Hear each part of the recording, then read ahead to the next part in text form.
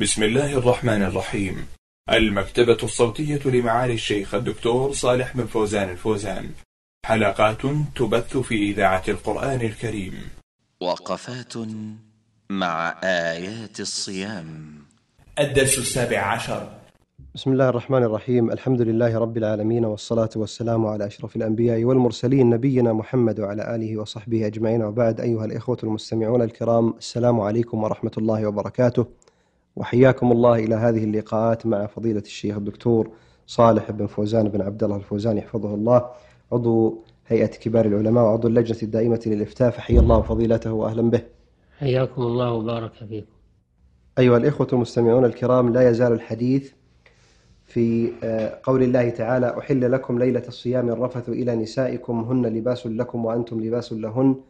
وقد تحدث فضيلة الشيخ في الحلقات الماضية حول قول الله تعالى وأنتم ولا تباشروهن وأنتم عاكفون في المساجد.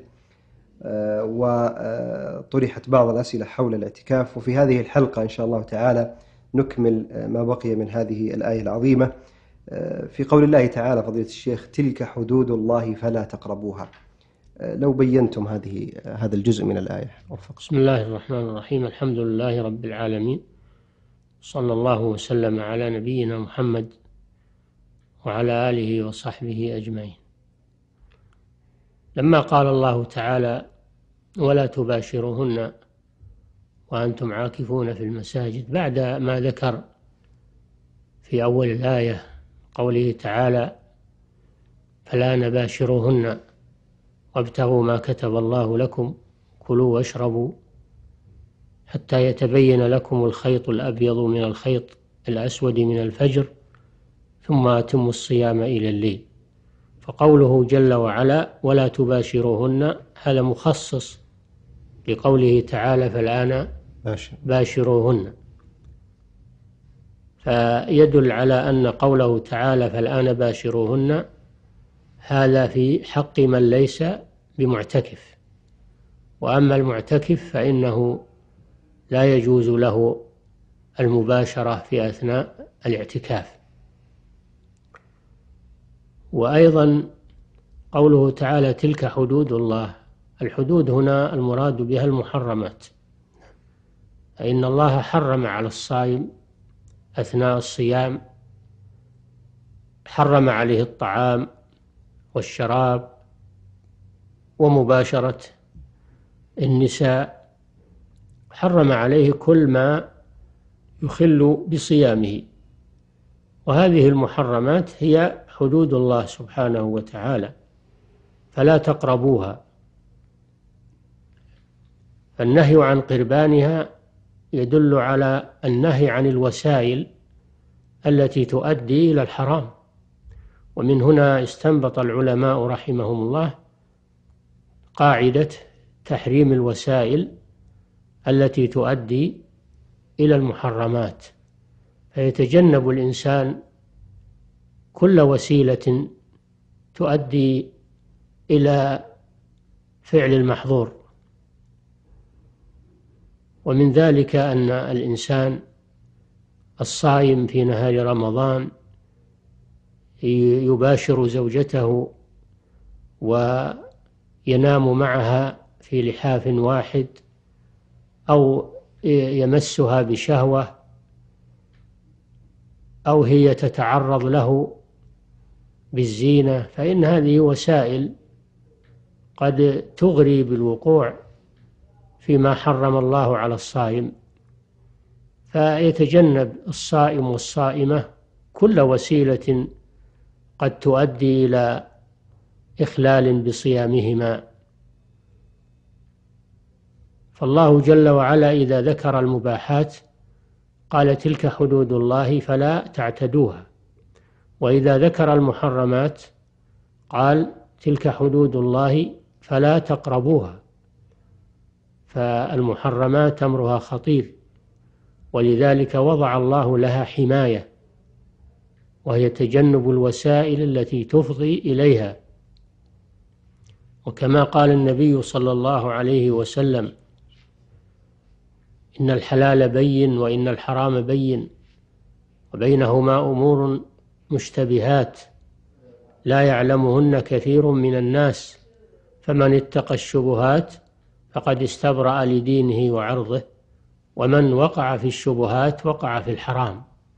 كالراعي يرعى حول الحمى يوشك أن يقع فيه. نعم. أحسن الله إليكم فضيلة الشيخ. إذا المقصود هنا بقوله تلك حدود الله المباشرة في الاعتكاف وأيضا عموم ما بينه الله في هذه الآية من الفروض وحدود الصيام وأحكامه ورخصه وعزائمه. نعم. أحسن الله إليكم فضيلة الشيخ. قول الله تعالى فلا تقربوها. هل يفهم من هذا أنه تحذير للمؤمنين من مجرد الاقتراب آه، الذي هو مقدمة الوقوع؟ هذا ذكرنا قلنا نعم. يتجنب كل وسيلة تؤدي إلى ارتكاب المحرم نعم. من مما يقرب منها من الأفعال والأقوال فالصائم يتجنب الأقوال التي تفضي إلى ثوران الشهوة كالكلام في الجماع ودواعيه وكذلك أشد من هذا النظر في الشاشات التلفزيونية. التي تعرض فيها صور النساء وصور الفاتنات والمتبرجات فهذا حرام على المسلم أن ينظر فيها دائما وأبدا. ولكن في حق الصائم يتأكد المنع لئلا يفضي هذا إلى إفساد صيامه وثوران شهوته فيتجنب النظر إلى هذه الأشياء.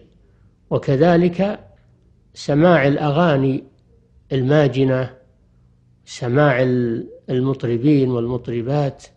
هذا أيضا مما يثير الشهوة وقد يوقع في المحظور لأن الغناء ينبت الشر في القلب ويزرع الفتنة في القلب فهو محرم على المسلم دائما ولكن في حق الصائم يتجنبها. وكل هذا يدخل في قوله تعالى تلك حدود الله فلا تقربوها. نعم. أحسن الله إليكم فضيلة الشيخ. أيضا قول الله تعالى كذلك يبين آه، الله آياته للناس. آه، لو بينتم هذا المعنى يا شيخ. نعم مثل كذلك يعني مثل هذا البيان الذي بينته لكم في هذه الآية مما يباح للصائم وما يحرم وما يحرم عليه متى يباح له الأكل ومتى يباح له الشرب متى يباح له الجماع ومتى يحرم عليه؟ مثل هذا البيان بين الله سائر الأحكام سبحانه وتعالى فإنه بين لعباده الحلال والحرام. كما قال تعالى وقد فصل لكم ما حرم عليكم وبين لهم ما يجب عليهم وما يستحب لهم وما يباح لهم كل ذلك بينه الله جل وعلا في كتابه وبينه الرسول صلى الله عليه وسلم في سنته. فما من شيء احتاج إليه العباد في دينهم ودنياهم إلا وقد بينه الله ورسوله في الكتاب والسنة. وهذا من فضل الله سبحانه وتعالى على عباده. نعم. أحسن الله إليكم فضيلة الشيخ. أه، تختم أو ختمت هذه الآية بقول الله تعالى لعلهم يتقون. أه، لو بينتم أيضا معنى لعل و هذا في بيان الحكمة من هذا البيان. نعم. بيان الحكمة من هذا البيان في هذه الآية وفي غيرها. وهي أنه سبحانه وتعالى فعل ذلك من أجل أن يتوقع الناس المحرمات ويبتعدوا عن الوقوع فيها. هذه هي الحكمة في البيان الإلهي أن الناس لا يكون الأمر ملتبسا عليهم وإنما يكون الأمر واضحا لهم حتى لا يقعوا في الحرج. نعم. التقوى فضيلة الشيخ لو تحدثتم عنها وعن أهمية أن يسعى المرء ليزيد قربه من الله عز وجل ومراقبته لربه. التقوى في اللغة مصدر اتقى يتقي تقوى ومعناها اتخاذ الوقاية بين المسلم وبين ما يضره لأن يعني يجعل له وقاية من الحر وقاية من الشوك وقاية من البرد وذلك بفعل الأسباب الحسية وكذلك يتخذ وقاية بينه وبين وبين الأمور المعنوية وهي العذاب والعقوبة والنكال العاجل والآجل يجعل العبد بينه وبين ذلك وقاية بالأعمال الصالحة وترك الأعمال المحرمة. والتقوى كما فسرها العلماء معناها أن تعمل بطاعة الله على نور من الله ترجو ثواب الله وأن تترك معصية الله على نور من الله تخاف من عقاب الله سبحانه وتعالى. هذه هي التقوى وهذه حقيقتها. أن تتقي المحرمات وأن تتقي العذاب. فقد جاءت التقوى آه، مضافة إلى الله واتقوا الله. وجاءت مضافة إلى النار واتقوا النار. وجاءت مضافة إلى النساء واتقوا النساء. فهي وقاية من كل ما يضر الإنسان في حاله وفي مستقبله بأن يتجنب كل ما يضره من الأمور الحسية والمعنوية. وذلك بفعل الأسباب الواقية من هذه الأمور إما الأسباب الحسية وإما الأسباب المعنوية. نعم. أحسن الله إليكم فضيلة الشيخ ونفع بما قلتم إنه سميع مجيب. أيها الإخوة المستمعون الكرام إلى هنا نصل إلى ختام هذه الحلقة آه، والتي آه، استضفنا فيها فضيلة الشيخ الدكتور صالح بن فوزان بن عبد الله الفوزان عضو هيئة كبار العلماء وعضو اللجنة الدائمة للإفتاء فشكر الله لفضيلته وأجزل الله له المثوبة وإلى أن نلقاكم مستمعين الكرام في لقاء مقبل بإذن الله تعالى. نستودعكم الله والسلام عليكم ورحمة الله وبركاته.